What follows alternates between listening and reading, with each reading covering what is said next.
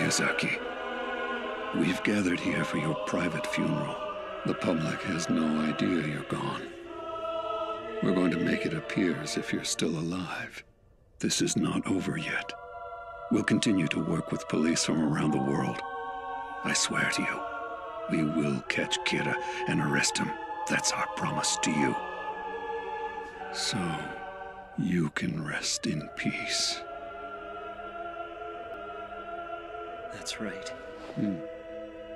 We'll catch Kira and avenge Ryuzaki. Solving this case will be our last gift to him, to Watari, to all of Kira's victims, and to all the people of the world. Is light coming?